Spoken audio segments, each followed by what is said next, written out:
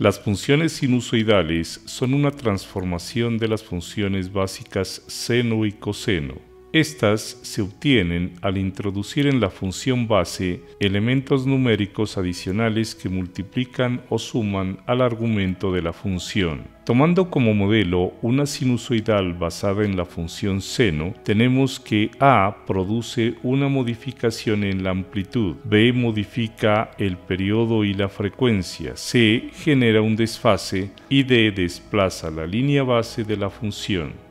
Aquí nos vamos a centrar en observar el efecto que sobre la gráfica de la función producen los valores de c. Inicialmente vamos a simplificar nuestra función sinusoidal asignando los valores de 1 a las letras a y b y 0 a d. De esta manera nuestra función se reduce a y igual a seno x más c.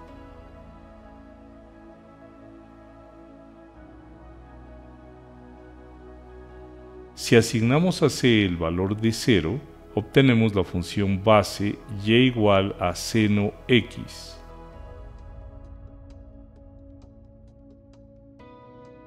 Ahora asignemos a c el valor 2. En este caso tenemos la función y igual a seno x más 2. Este valor de c podemos interpretarlo como un desplazamiento hacia la izquierda de la función base. A este desplazamiento en dirección del eje x es a lo que llamamos desfase. Si tomamos como referencia el punto de la función base que coincide con el origen de coordenadas, observamos que en la nueva función este se ha desplazado dos unidades hacia la izquierda.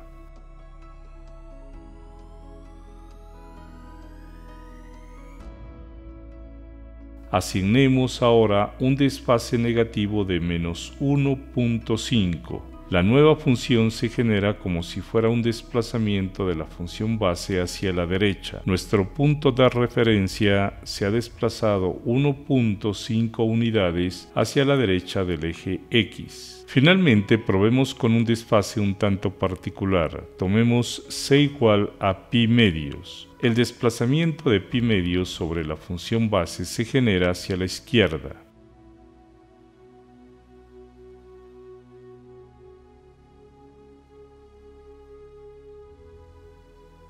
Pero el resultado es igualmente particular. Si revisamos la gráfica de la función coseno, observamos que coincide exactamente con esta gráfica de y igual a seno de x más pi medios. En otras palabras, seno de x más pi medios es igual a coseno x. Esta equivalencia es fácilmente demostrable utilizando las identidades trigonométricas. Ahora analicemos el caso más general de la función sinusoidal y cómo influye C en su desfase. Tomemos el caso en que A es igual a 1 y D es igual a 0. Y para facilitar las cosas supongamos que B es un número positivo.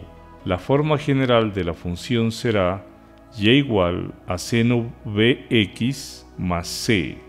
En general, el desfase de una función sinusoidal se obtiene dividiendo el valor absoluto de c entre el valor de b. Consideremos el caso particular donde b es igual a 2 y observemos cómo afectan los valores de c. Asignemos a c el valor 0. Nos queda la función y igual a seno 2x. Ahora, esta es la función que nos sirve de base para observar el efecto que producen los valores de c.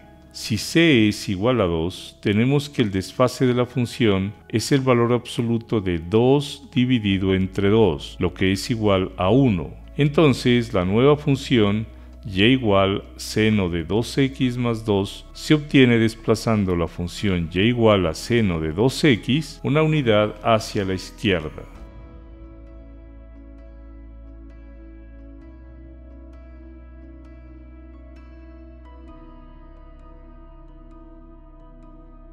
En el caso de c igual a menos 1, esto genera un desfase igual a un medio, que produce un desplazamiento de media unidad hacia la derecha.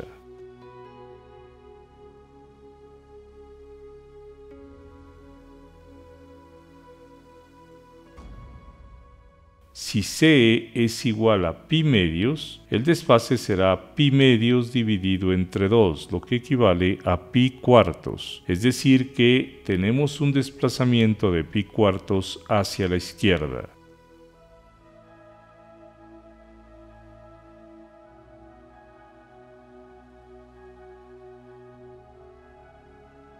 En definitiva, los valores positivos de C generan desplazamientos hacia la izquierda, mientras que los valores negativos lo hacen hacia la derecha.